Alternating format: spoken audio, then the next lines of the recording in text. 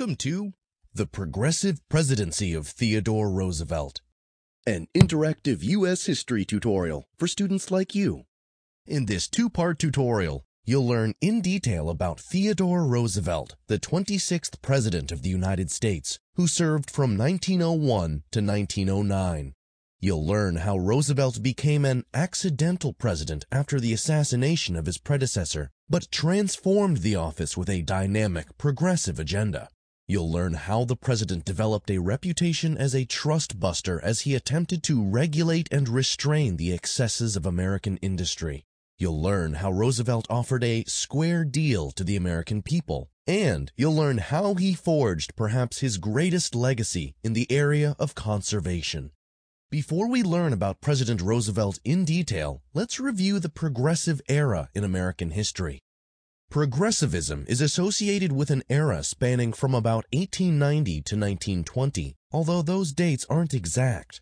The root word of progressive, of course, is progress, and that's exactly what progressives wanted to achieve.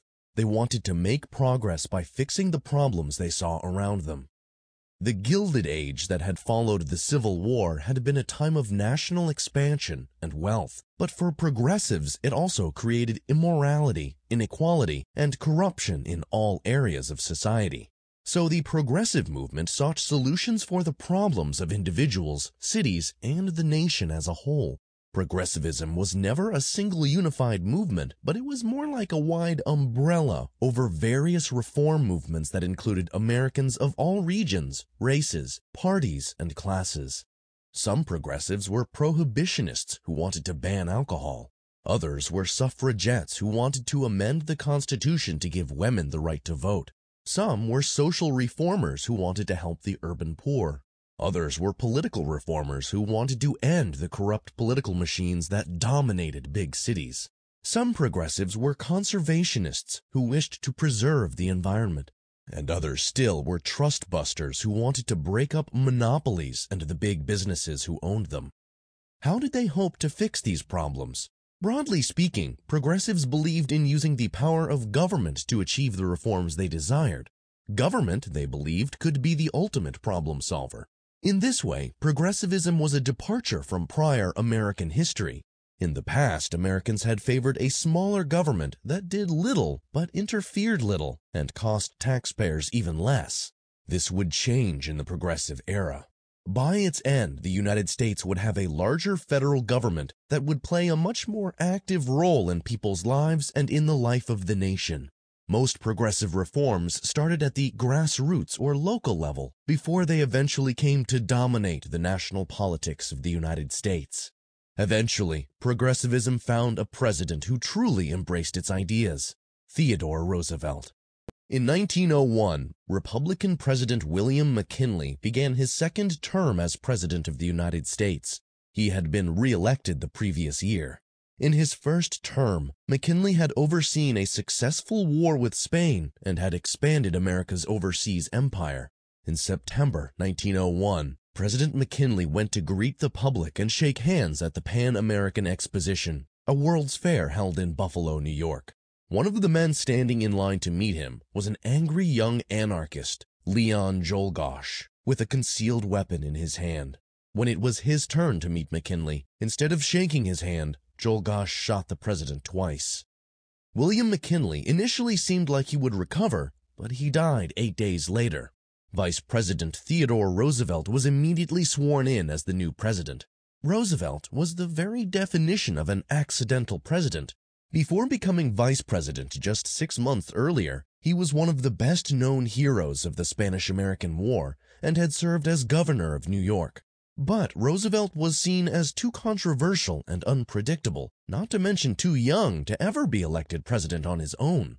Even in his own Republican Party, many considered him a loose cannon or a damned cowboy. In fact, he had been chosen as McKinley's running mate in part because some in the Republican Party had wanted to keep him away from real government power. Now, Theodore Roosevelt was the president and in a position to make history. He promised to keep McKinley's cabinet and to continue the former president's policies. But Roosevelt would soon reveal himself to be a new kind of president, an active, energetic leader determined to use government power to achieve progressive goals. In one of his first addresses to Congress, Roosevelt explained that the Constitution as written at the nation's founding did not address many of the problems facing modern Americans. The conditions are now wholly different and wholly different action is called for. The year he became president, Theodore Roosevelt wrote to a friend about an absolutely vital question, whether or not the government has the power to control the trusts. Trusts were a controversial issue when Roosevelt assumed office and they had been for some time. They were enormous businesses that controlled all or most of one part of the economy, creating a monopoly or a near monopoly. Trusts had formed during the Gilded Age because there had been no laws preventing their formation. Since they faced little or no competition, trusts were free to charge higher prices for goods, which hurt consumers. Many progressives felt that the trust's owners, a handful of America's wealthiest businessmen, had far too much power over the economy and the nation.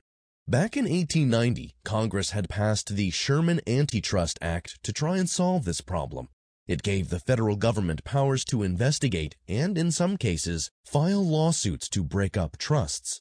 But the Sherman Act had not been used as intended, in fact, 10 years after its passage, it had been used more often to break up labor unions than monopolies. This changed under Theodore Roosevelt. Just months into his first term, his administration sued the Northern Securities Company, a trust which controlled most of the railroads in the American Northwest. One of the men who had created it was J.P. Morgan, the wealthy financier who had helped form General Electric, U.S. Steel, and AT&T.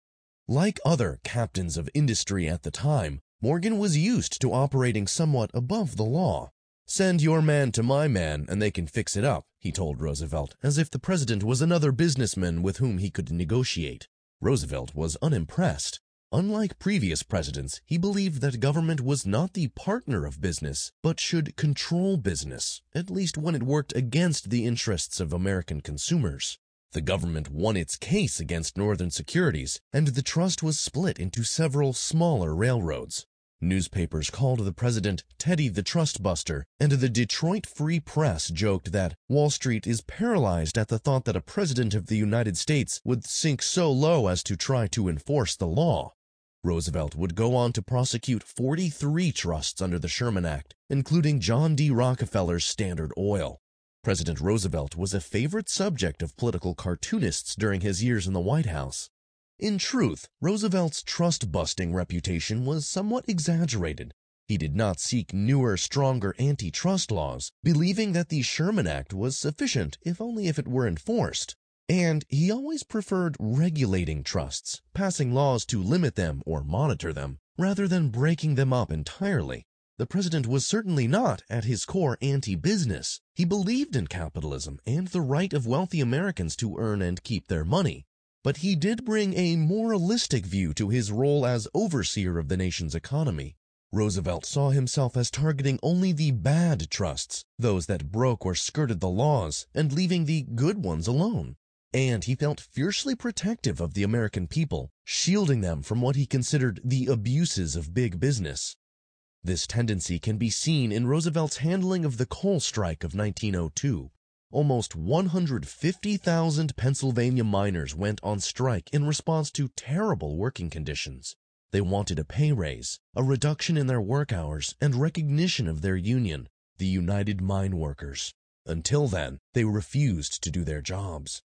The mine owners refused to negotiate, Throughout the summer and into the fall of 1902, little coal was mined in the Northeast. As winter approached and the strike went on, people started to panic. Coal was needed to heat America's homes, businesses, hospitals, and schools. People would die without it. Theodore Roosevelt had had enough. He decided to resolve the dispute personally and requested that the leaders of both sides come to Washington, D.C. Although Roosevelt was frustrated with both labor and management, he was especially enraged by the wooden-headed obstinacy and stupidity of the mine owners. He said about their spokesman, but not to his face, that he wanted to pick him up by the seat of his breeches and chuck him out a window. He even threatened to have the government seize the mines and reopen them with federal troops supplying the labor. It's unlikely that Roosevelt would have carried through on this threat, or even legally been able to, but it proved unnecessary. Both sides agreed to arbitration, in which a commission of outside experts reached a compromise agreeable to everyone. President Roosevelt named several of the commission's members. In the end, the miners won some of the demands they were seeking, and the mine owners did not technically have to recognize the workers' union. The coal mines reopened in time for winter. Theodore Roosevelt may not have resolved the coal strike single-handedly, but his willingness to get involved formed a striking contrast with previous presidents who considered it simply not their job to intervene in labor crises. Proud of himself, Roosevelt said that he had only tried to give both sides a square deal. The name stuck. The Square Deal became Roosevelt's name for his domestic agenda going forward and his slogan when he ran for re-election in 1904. As a progressive president, Theodore Roosevelt was concerned with regulating aspects of society that he felt worked against and not for the average American. The idea that the U.S. government should have anything to do at all with the private sector was still a new and controversial idea. But Roosevelt believed that some government oversight and control of private industries, like the railroads, was necessary for the good of the nation. In the early 20th century, automobiles were a novelty, and railroads still bound the U.S. together. Although the U.S. economy depended on rail transportation, the railroads were private businesses concerned with their own profits, not for the public good. The result was that businesses and individuals were at the mercy of the railroads, which could charge whatever rates they wanted. And big business looked after big business. Sometimes large volume customers like Rockefeller Standard Oil would pay reduced rates or even get free passes, while the small farmers who could least afford to often paid the highest rates. For these reasons, railroad reform had been sought by progressives for more than a decade. Before Roosevelt, however, little progress had been made. An 1887 law had created the Interstate Commerce Commission, the ICC, to regulate railroads that crossed state lines, but its powers were limited. In 1906, Roosevelt convinced Congress to pass the Hepburn Act, the regulation of the railroads that progressives sought. The law let the ICC set maximum rates for the railroads, as well as end the discriminatory practices that gave discounts to some customers but not to others. It even let the ICC view the railroad's financial records, a glimpse behind the scenes into the workings of some of America's biggest businesses. The law was a turning point in federal control over a private industry. In the 19th century, the U.S. government had practiced a laissez-faire attitude that allowed industries largely to do as they pleased without federal interference.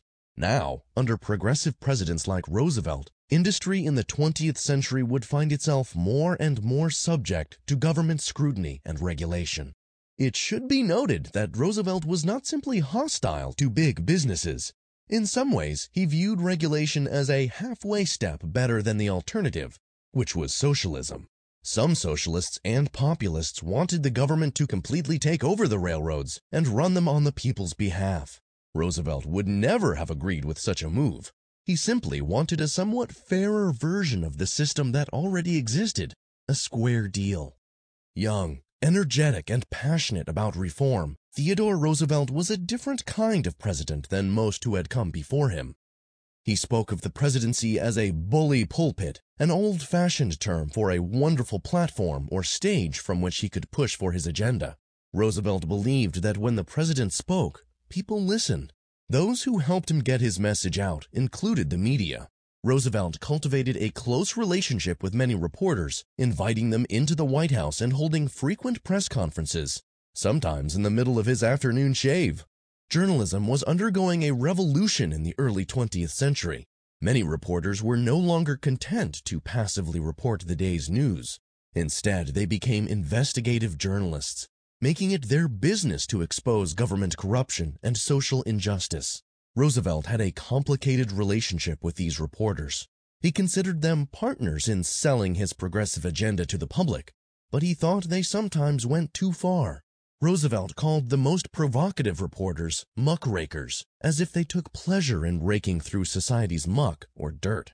One journalist who formed a key partnership with the president was Upton Sinclair, a young socialist and proud muckraker. When Roosevelt became president, no one inspected the quality of food or medicines except the companies who made them. As a result, these companies frequently put profit above public health, shipping customers products that were sometimes contaminated, even poisonous. It was especially well known that America's meatpacking industry needed regulation and reform. To prove it, Upton Sinclair went undercover as a worker in Chicago's infamous slaughterhouses and meatpacking plants.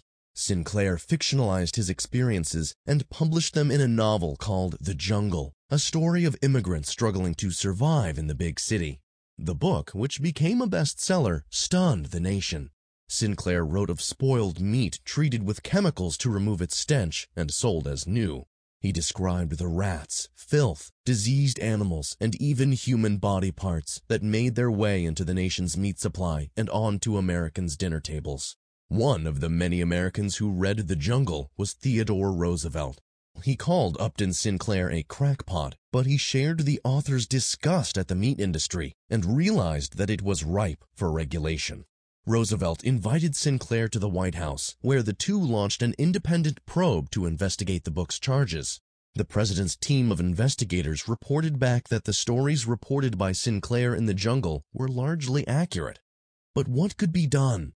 As it stood, there were virtually no federal laws that gave the government the right to interfere with or even to monitor the meat industry. This is where Theodore Roosevelt used the power of the bully pulpit to make a progressive change. He published his own team's findings for the public to read and sent them to the House of Representatives, demanding that Congress pass strict rules on meat inspection. Congress yielded to the president and to public outrage and passed not only the first Federal Meat Inspection Act of 1906, but also the Pure Food and Drug Act of 1906. Government would now be in charge of inspecting and guaranteeing the quality of food, drink, and medicine. One senator who voted for the bills called them the most pronounced extension of federal power in every direction ever enacted and President Roosevelt declared that this Congress has done more substantive work for good than any Congress has done at any session since I became familiar with public affairs.